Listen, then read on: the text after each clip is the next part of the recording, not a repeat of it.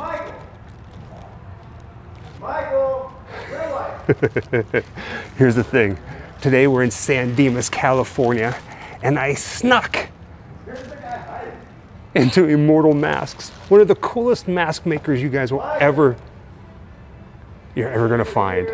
Today's Grim Adventure is all about the making of some of the scariest, coolest, realistic masks in the industry. I think they're on to me. Michael. Michael. Maniacal laugh time. Michael. Michael. Michael. Where's that guy?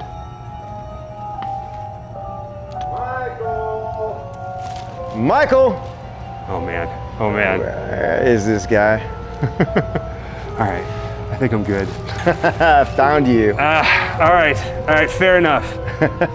I'm excited about this. Get in here. The adventure begins now. All right, Your let's go. nightmare begins now. See, I'm full of bad puns. You are horrible.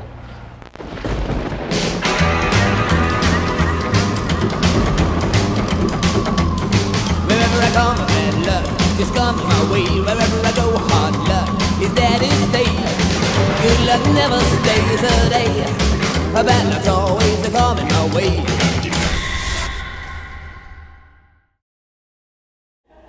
Hey everybody, how you doing? My name is George Frangidakis. I am the co-owner of Immortal Masks in San Dimas, California, and we are the world's largest silicone mask company. Uh, and today, I'm going to give you like a little tour and kind of take a spooky Mr. Rogers approach on how these things are made. Um, this is our conference room. Welcome, and uh, let's take a look at a couple of things here. This is something fun we did for um, Universal Hollywood's Horror Nights, and this was many years ago, and he is Chop Top from the Texas Chainsaw Massacre. Now, this is a paint prototype. It's probably not what the last one looked like, the, uh, the final design looked like. We were trying things with the birthmark and then uh, laying in different shades of like five o'clock shadow. So you see a couple different shades in here to where we landed on the, the right one and uh, what the metal might look like too. And eventually we had hair punching in it too. But um, since this was a tester, he's kind of our archive and he ended up in this room. So it's something we have to look at and go, remember when?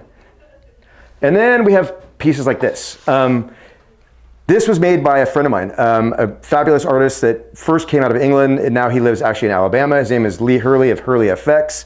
Um, and he made this absolutely amazing full-size wearable Groot suit, like unbelievable. Um, and we're friends, and um, we've kind of helped each other over the years with just ideas. And um, I'm lucky enough to uh, to get a casting from the original mold, and he sent it out to us, and it's like a prize piece um, in in our collection here because um, we're big nerds, just like you know. I love that it's bigger than you. Yeah. so it's more fun sometimes to have like other people's stuff in our shop, you know, because we see our masks every day. So it's like cool to have like other things. And this room definitely is one of the rooms where uh, you'll see um, artwork from a lot of different artists. Uh, and then we got things like this, which is this is like a grail piece for me. This is a I'm a huge fan of Donnie Darko. I'm, I'm sure you know other people out there in uh, in Grimm Life Land are too. Um, and this is actually a casting from the the original mold. Um, and I was lucky enough to get one, and it uh, got to my friend Jimmy Duval, who played Frank the Bunny in Do- Donnie Darko Gyms, and I worked on a movie called Sushi Girl years ago, and we've been friends since. And he kind of uh, he, he facilitated. There was like a limited edition of a couple of these went out, and he, he signed it, and Rob Berman, the original sculptor of the mask, signed it too. And yeah, it's kind of a fun thing to have in our collection here at Immortal Masks. We could spend all day here, trust me. But what you guys really want to see is the stuff that we make. Let's go take a trip into the shop. All right, this is where the actual magic starts. This is the sculpting room. This is where all of our ideas uh, get translated to the clay. And this right here is my partner, Andrew Freeman. This Hello, is the guy that started Immortal Masks. Hey everybody. And uh, he's also the you know the head of the art department, and he is our principal sculptor. And he is working on a new mask that's actually part of a trio of um, of scary luchadors. And uh, tell us about this guy.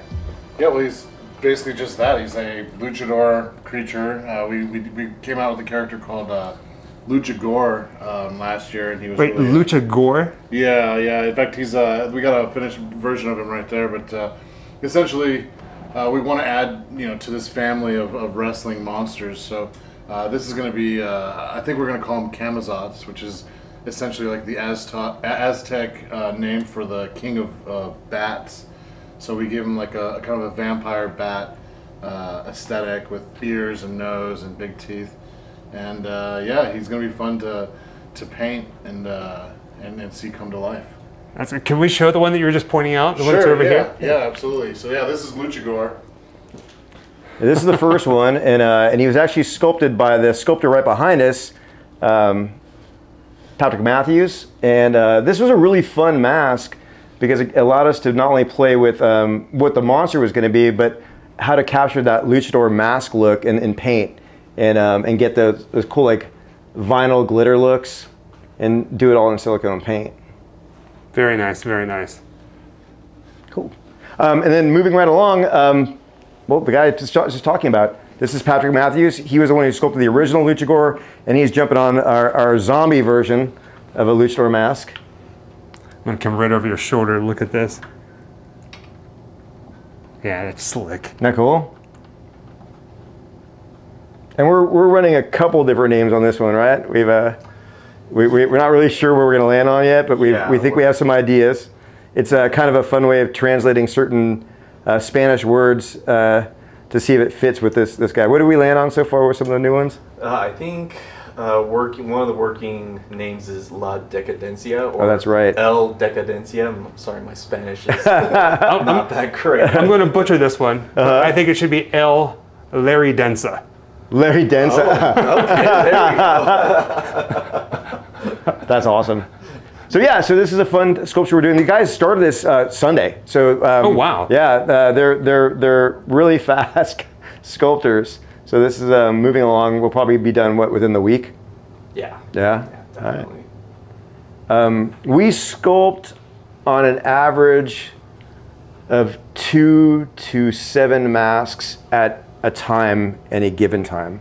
So right now we have these two being worked on. We have another mask out to a sculptor named Joey Orozco, who's sculpting another piece for us right now. Um, so that's three. That's a slow day in the sculpting room. Uh, we do have one over here we can show. The starting with it's a it's a rabbit. Um, it's being sculpted by a friend of ours named Kodai. Um, and he comes in on the weekends and, and works on this, and it's getting close to being finished.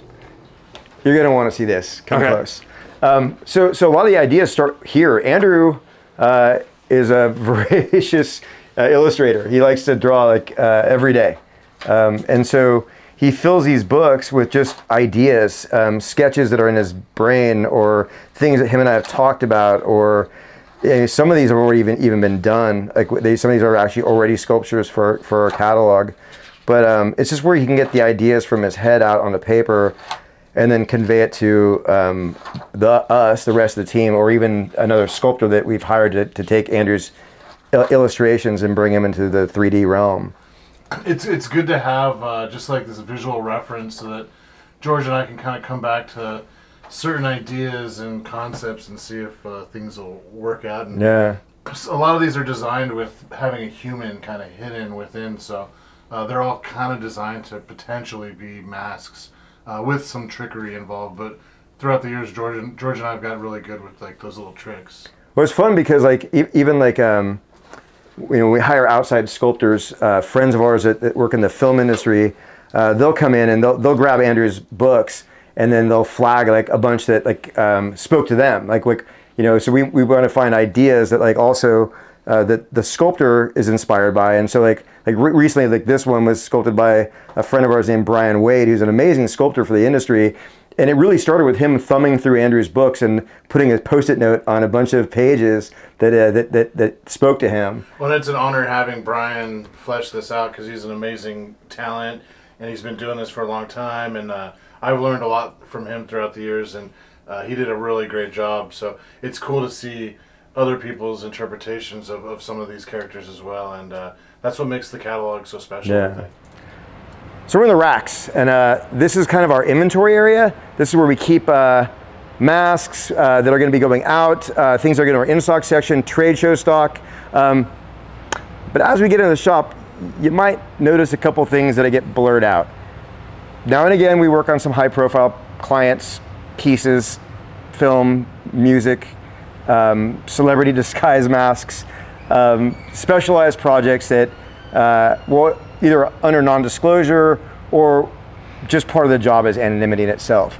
Uh, so please forgive the blurred if you see those things. It's just stuff that I, I can't show. I, I want to show you.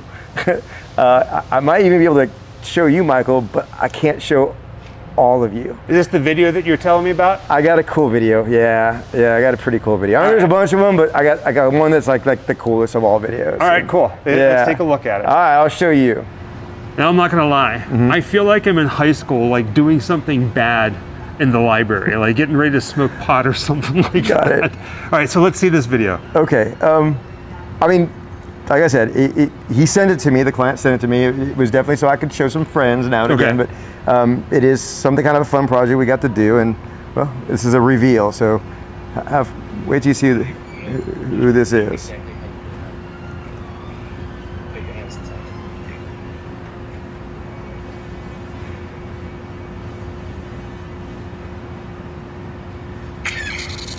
definitely go to lounge for that. I found shoot!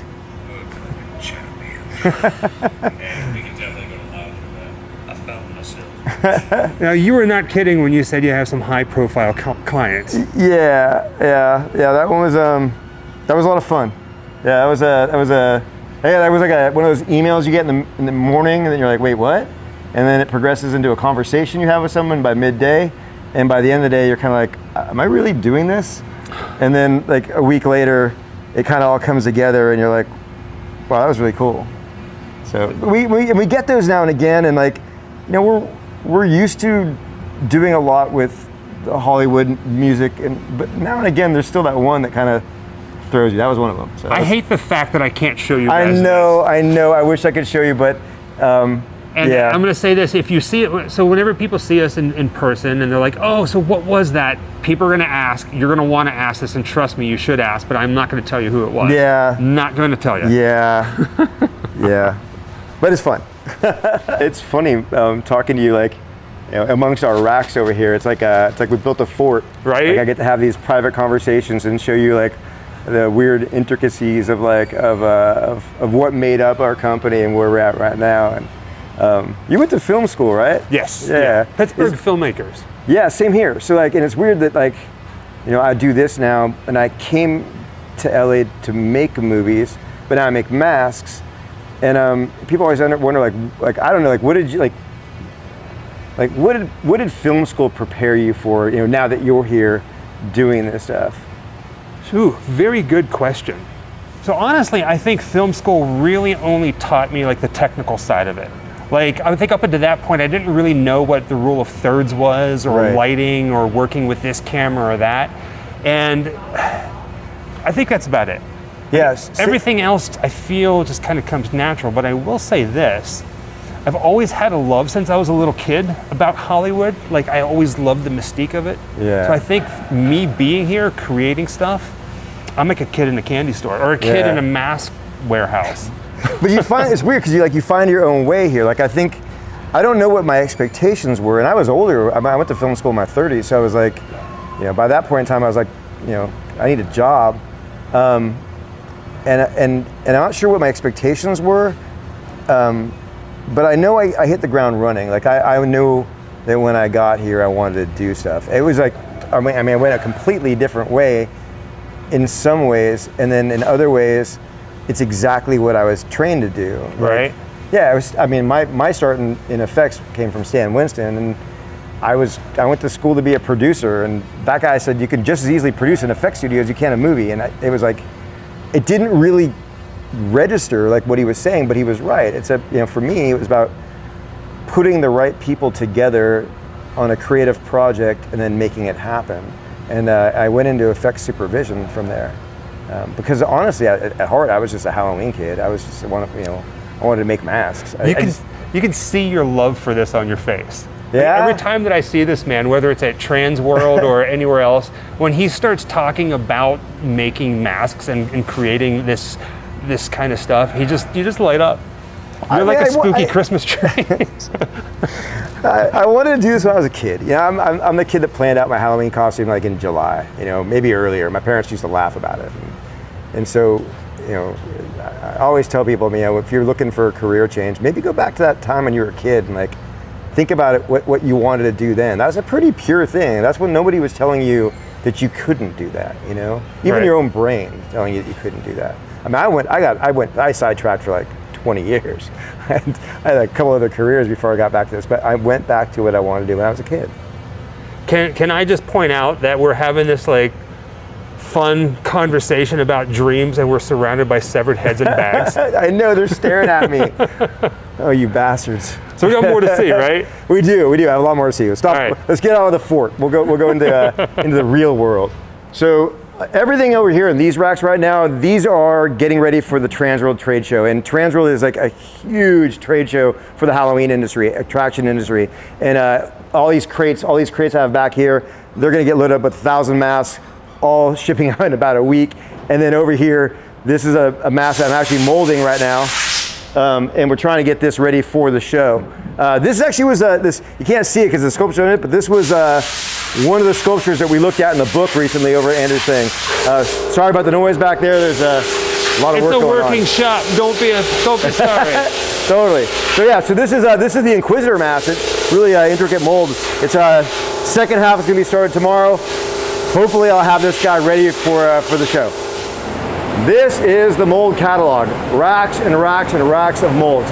Every single one of these molds represents a sculpture that we made. Uh, this is where it all happens. After the sculpture is made, these molds generate all the mass that you guys buy.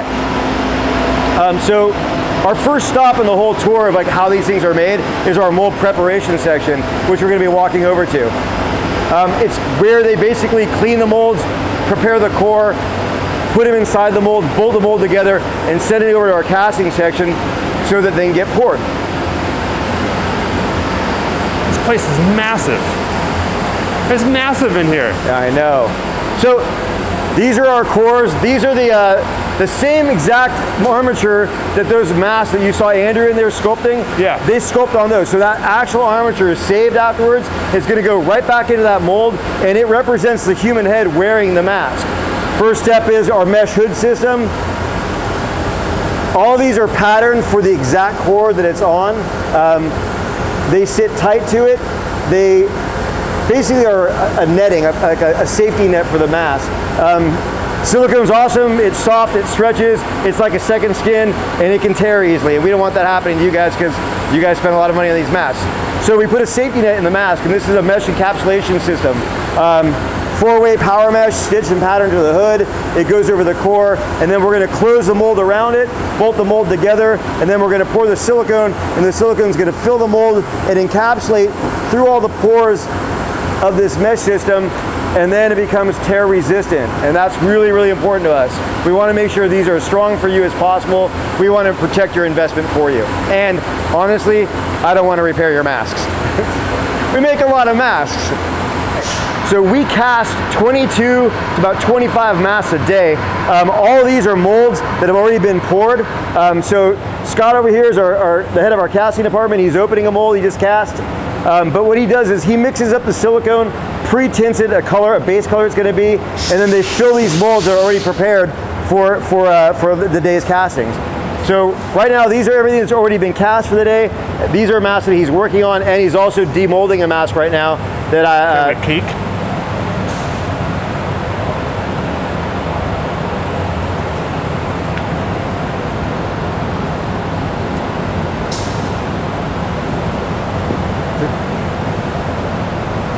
Trying so hard to stay out of his way. no worries. so Scott's using air, condensed air, to actually break the pressurized seal of a new mask. These are a nightmare sometimes. Seems like a lot of force has to go into that sometimes. it's it's more like a lot of working, um, slowly working things, so you start feeling that the the, the, the the seal pop, and then it releases itself, and you kind of work its way way out of it. This is a brand new one too, so it's going to be a little stubborn on him. But he's created a brace system to kind of work it out. And we'll use some chemical solvents like alcohol uh, to, to kind of lubricate it, air to pop some seals, and just good old-fashioned pressure. And he works on it. Eventually, you're gonna, it's going to pop and it's going to come right out. So for the most part, whenever Scott gets a mold, it's already prepped, bolted together, and ready to go. But now and again, he gets a specialty mold. It'll arrive to him with a part open or back open. And that's because Scott has to go in there and, and do some tricks in the casting. For example, this one has these really long spikes in the back of the head. We don't want them to wiggle and the wobble right when the, the actor's wearing them. So he goes in with a firmer density silicone, paints it actually into the mold, lets it cure, then he's gonna close the mold like this, then he's gonna pour the softer silicone, but these will stay more rigid in the casting. All right, there is just so much to see here. I know, I know. Let's take you to the next step. So we just saw the mask being cast, right? Yep. When the silicone cures, then we open them up and we take the raw casting out. And this is what, they look like. They're not that pretty, but they're there. So the silicone is cured. It's now, looks like the sculpture, but it's got an ugly seam line. It's got the pour spout here. It's still got the mesh system here. Right. And these got to go to my paint department. They got to look perfect for the, for the, the client. So we take them over to the seam and patch department. That's what we're going to visit right now. Which is this room in the back filled with all kinds of different artists. I know. All right, so welcome to Seam and Patch. This is the Seam and Patch department. They're the ones in charge of making the mask uh, looking beautiful again. Uh, you just saw them come out of a, a mold. Uh, they've got all the little imperfections. Some of them have like uh, thin spots. Uh, some, some, some show the power mesh. Uh, they're all gonna have the pour spout. Uh, they're all gonna have little areas where the bleeder holes were at. And so they start off by trimming all that off, getting all the excess stuff off of it, and then they're gonna go back in with curing silicone, the exact same silicone that the mask was made out of. They're gonna thicken it, they're gonna turn it into almost like a, like a frosting-like consistency, and that's our patch. And then they're gonna go in with tools and solvents, and they're gonna blend it all back into the mask and make it look perfect. And this is Ashley, she's the head of our patch department, and she is working on a freshly cast death mask. I'm Yes. not gonna lie, I want to wear it. So right now she's just taking off the, uh, the, the mesh seam.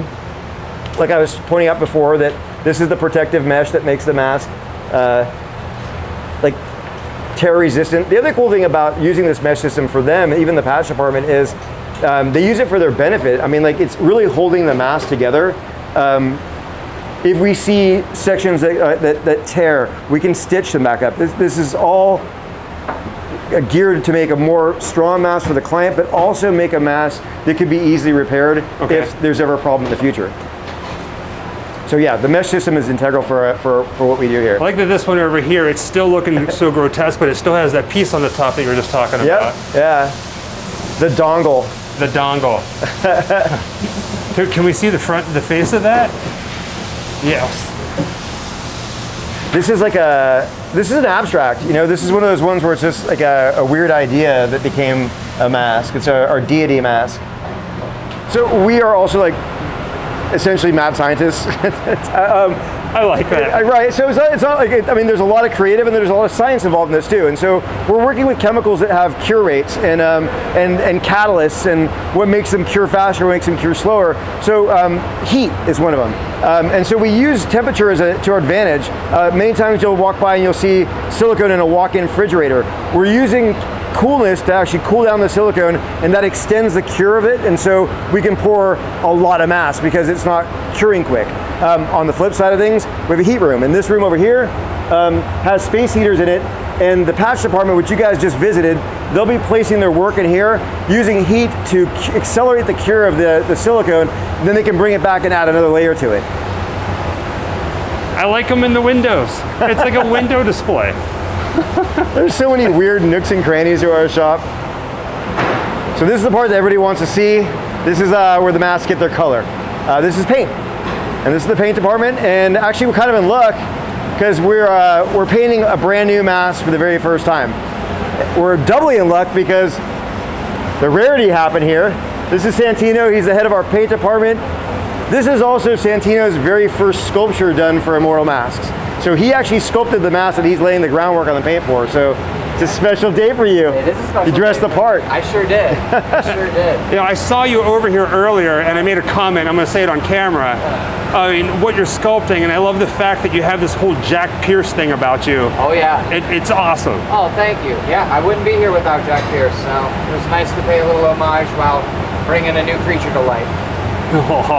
Yeah, this is a treat. It really is because, uh, I mean, again, um, I mean, we're, we're all attached to our work. And, you know, Santino gets to paint, lay down paint schemes for things that Andrew did. So there's a lot of trust back and forth. You know, um, you know, one visualizes it in form, the other one visualizes it in color. Um, and this one, though, this is that special thing where it's like, you know, the creator is completely on his own work right now. Yeah, right. So if I screw it up, it's on me. You're right. But It looks good. Can we get a little closer look at it? oh yeah, There you go. Look at that extra love going into it. that's right. A little extra. That's sound. slick.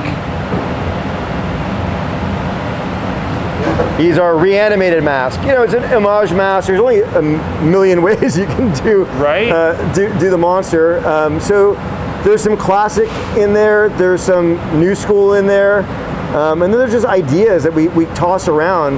This was a fun one to watch evolve. Um, uh, can I share a little bit about what we, what we talked about? So when we're visiting the monster, and we do have a mask called Frank, so we have another version of him, and we've, we've had like other versions of the undead or the, the Mary Shelley creature. We were talking about this, and originally this almost started off as like, well, you know, for a better lack of words, a gimmick mask. Like, Yeah. we were thinking of like, oh, let's suspend a brain inside of it, or let's light this up, or we even moved to a possible lighting device uh, down down in the chest, and um, as we started, you know, discussing, I think a little bit more of, you know, both his love for it and, and, and then also like things that would be economical or, you know, that it kind of came down to, let's look at it in more of a purist kind of way. Um, let's, let's do an homage and let's put some stuff in there that, that would be relevant to the, the storyline of the creature. Right. Um, so one of the things we play with is the burns. Yeah. Yeah, monster falls from the windmill after being engulfed in flames, so obviously he would have some burning on him. So that was something we thought about. Easy access into the brain for the doctor, we thought about that. You know, it's part of the process is thinking really from a sort of a writing standpoint. Where is this creature? Where does it live? How does it operate?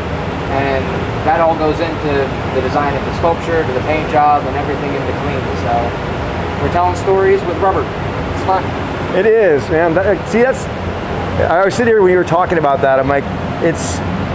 I knew what we visioned this company to be, like when we started it, when there was like four or five of us. But to have like 40 like-minded people that work on these things every day and honestly really love doing it too, because it really like it means so much. Like to Andrew and I, when they pitch ideas and it like and, and they pitch things because they see things that we don't even see it, it's fun like every single day like you know when we like spend the days that we're gonna do a movement video is like a, it's like Oh yeah, it's all yeah exciting. yeah See it all yeah together in a costume. Yeah. Lighting, it's great. This is the finishing department this is where a painted mask will end up that needs teeth or horns or lighting systems is an example of one of those masks I was talking about where uh, we were like wanted to do better than we were doing before. Back in the day when we first started with our first light up mask, I think we were buying like uh, tea lights from uh, Amazon and putting them in like and making an eye light up and we're like, ooh, look what we did. And as, as we've grown, we've uh, hooked up with uh, electricians, um, great effects people in the industry, and now we can actually design what, what we want the mask to look like and how we want things to work. So we have a great guy in Canada, uh, Chris from Made to Glow, shout out to him, um, who designed uh, the lighting system for our drone mask. And so we basically made a robot mask. He's waiting for his lens cap will diffuse this lighting. Um, he's, the lens cap is in silicone, it gets glued on here. But in the meantime, we can change animations on it. Oh, that's fun. Yeah, And that's something that you typically wouldn't expect to see on somebody's head in the dark, especially not in silicone. right? Yeah, yeah. Like like when this all started, you know, the first silicone masks that came out were like disguise masks. They were like they like traditionally they were like an old man. Like you know that was a, that was a mask you put on, and then later people were like, well, you, you can make a character mask out of it, and they were keeping it close to the form, whatnot.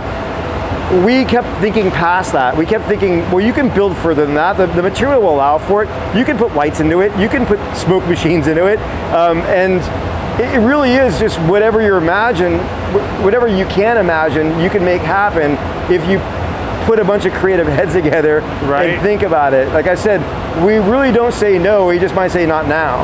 Um, this was an example. We wanted a cool robot mask, but we really wanted the focus to be on this like light and how it worked, and we accomplished that. And he was oh, he's already a couple years old, so I think like we're already into like okay, what next on some on some new ones. All right, so this is Daniel. Daniel's the head of our finishing department. He's gluing in teeth right now on, this is Envy, right? Yeah. This is one of our seven deadly sins masks. Um, it's called Envy. It actually has another face that hangs over these horns, like a, a human face, and uh, has these really cool demonic exterior teeth that he's going in with a silicone adhesive and laying in resin teeth. And this is one of the, the duties of the last last section, the finishing department. Um, teeth, horns, lights, uh, smoke systems. Um, yeah, you name it. This is this is the end game right here. Uh, it's looking cool. Yeah, it's it's pretty menacing. So once it's in, he's going to give it a nice touch of color. Then he's going to seal it up and make them nice and shiny and sealed in a gloss. First things first, though, we got to make sure these teeth are in and staying staying in place.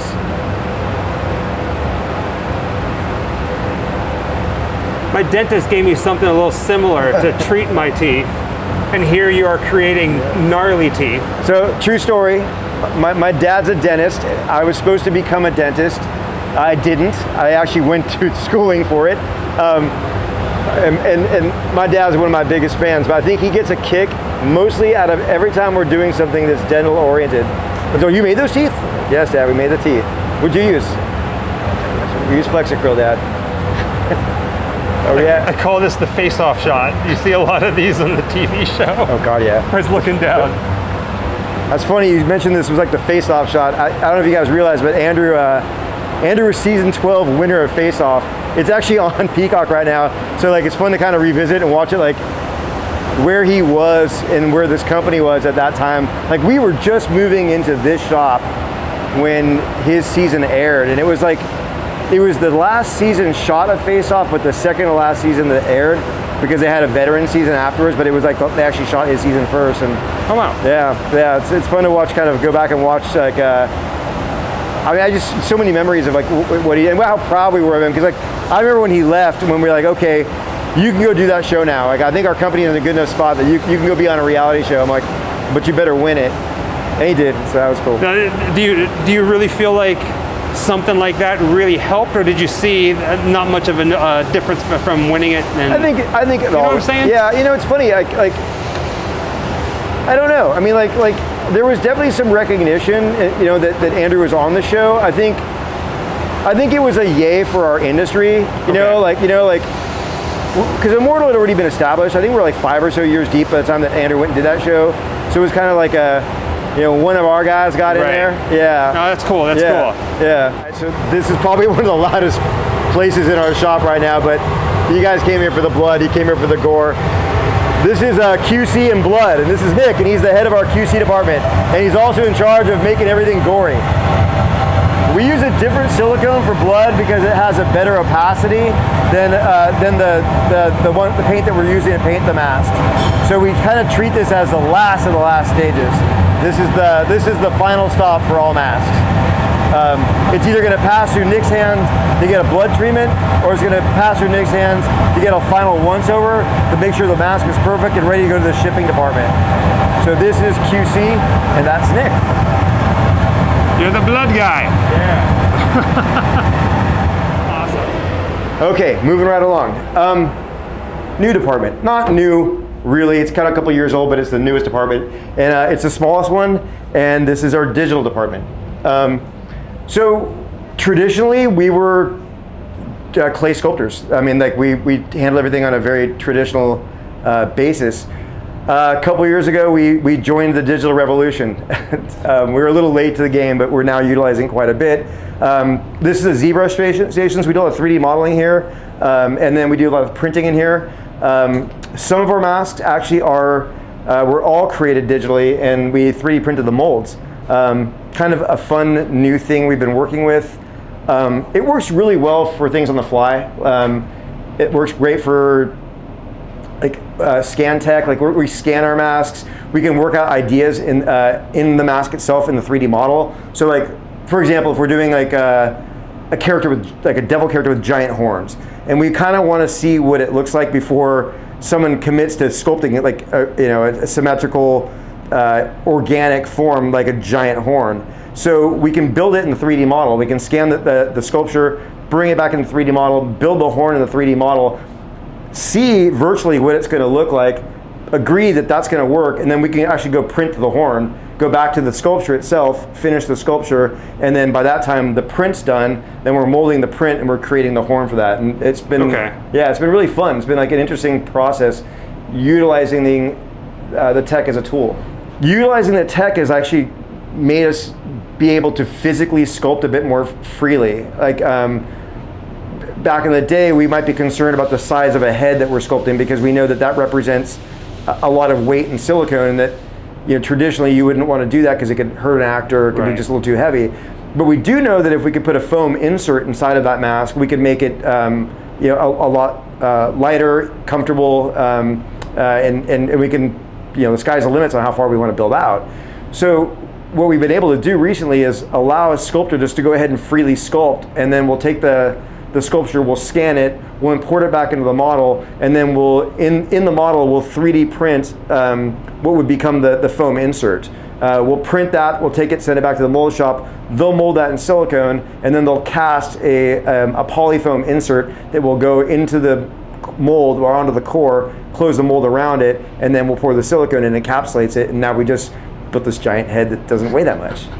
So um, this is predominantly our hair department. We do share it a little bit with our, our media side. So all our photography, all our videography of our, our uh, movement videos that happens in part of this room. But for the most part, this is hair. Uh, this is Danny. She's the head of our Hello, hair Danny. department. and she is working on a, a, um, a hybrid mask. And this is actually a kind of a, we, we updated our brown version of what he's supposed to look like, and she is in the hair punching stage right now. Um, and here it's interesting, we'll kind of do a hybrid version of like of, of hair work where it's half punching, half laying. Um, these are sheets of National Fiber Technologies NFT four-way stretch hair. And this is synthetic hair that is bonded to a four-way mesh, a true four-way mesh. It's pretty awesome. Uh, the ladies will cut patterns um, that match the head of the mask that they're going to be working with. They'll half glue it down, and then once it's glued down, they're going to go back and they're going to punch, and that's what Danny's doing right now.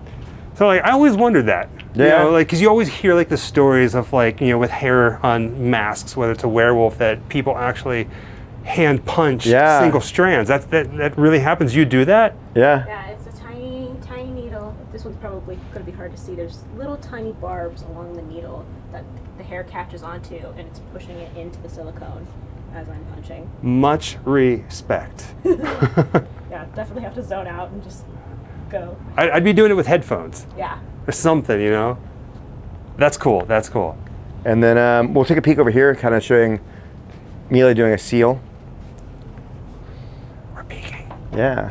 So we're going to peek in on Mila right now, and she is sealing in Oh wow. Okay. I see what you mean. So, so once they punch the, the hair all the way through, um, what they're going to do is they're going to use um, a silicone adhesive, thin down and spread out, um, and that's going to seal all those little fine hairs into the mask.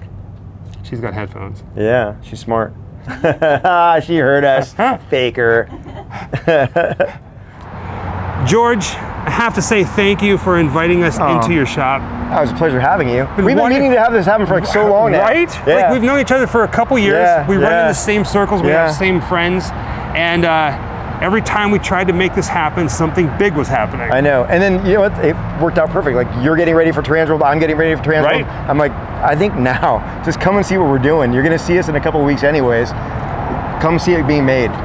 Now, before we go, I have to ask you, out of out of everything, you've been, you've been ever since you were a little kid, you wanted to be a mask maker. You're you're doing it. You're working in the field. Yeah. You're making. I wouldn't say dreams. You're making nightmares happen. That's hope- that. You're hope living your nightmares. Do you have any advice for the young mask maker that's making homemade masks in their kitchen, ruining their mother's like you know kitchen, their, their sink, their ovens? But like they have dreams just like you. Do you have any advice for them? Yeah, I mean, like I think the two things from that starting point is one, educate yourself. Like so, so there's great resources out there. The Stan Winston School is one of them. Um, those are going to lay the foundations of like of what you need to know to start doing this. And the other one is just don't let anybody tell you you can't do it. Like, 100%. Yeah, yeah, like like like you can. You you can you can turn this into a living. You can you know you can do what you wanted to do when you were a kid, and you can actually turn it into a career. Um, just find out how to do it. That's it. Like like like it's out there. It, it really is. Like there's there's great resources. Um, and just don't give up on your imagination, man. It's going to steer you the right way.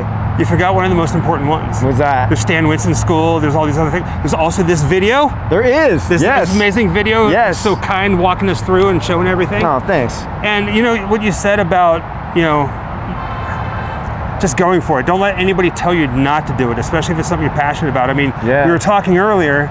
You've had those instances. Yeah. We've had those instances, and all here we it did is it, all it did is it sidetracked me for a while. I mean, I, I'm, I'm thankful for every experience I've had in my life, but you're over there. I, I, honestly think that I probably could have started a long time ago.